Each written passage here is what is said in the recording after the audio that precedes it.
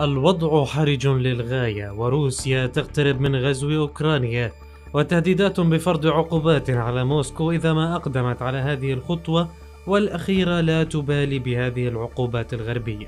حدة التصريحات تتصاعد شيئا فشيئا. وواشنطن تقول إنه لا توجد مؤشرات أن لدى بوتين نية للتراجع عن غزو أوكرانيا أو تهدئة التوتر. تصريحات جاءت على لسان الناطق باسم البنتاغون جون كيربي بعد اتصال هاتفي جرى بين الرئيسين الأمريكي جو بايدن ونظيره الروسي فلاديمير بوتين لم تنتج منه بوادر تفاؤل بل ويعتقد البنتاغون أن عملا عسكريا كبيرا يمكن أن يحصل في أي وقت في أوكرانيا. من جهته قال مستشار الأمن القومي في البيت الأبيض جاك سوليفان إن الهجوم يمكن أن يحدث هذا الأسبوع ومن المرجح أن يبدأ بضربات صاروخية وقصف مكثف تليه تحركات للقوات البرية.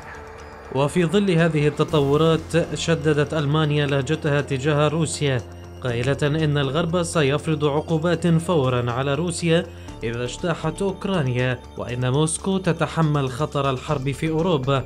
في توضيح لموقف ألمانيا التي طرتها انتقادات واسعة كونها متساهلة جدا مع موسكو.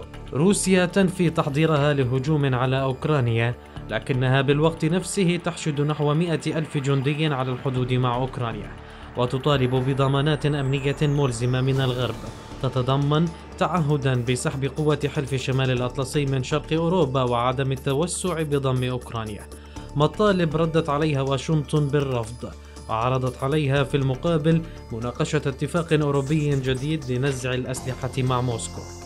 شركات طيران علقت رحلاتها إلى أوكرانيا ودول تدعو مواطنيها إلى مغادرة هذه الدولة، لكن السؤال المطروح الآن هل تنجح التحركات الدبلوماسية المتواصلة منذ عدة أيام في تجنب اندلاع حرب في أوكرانيا؟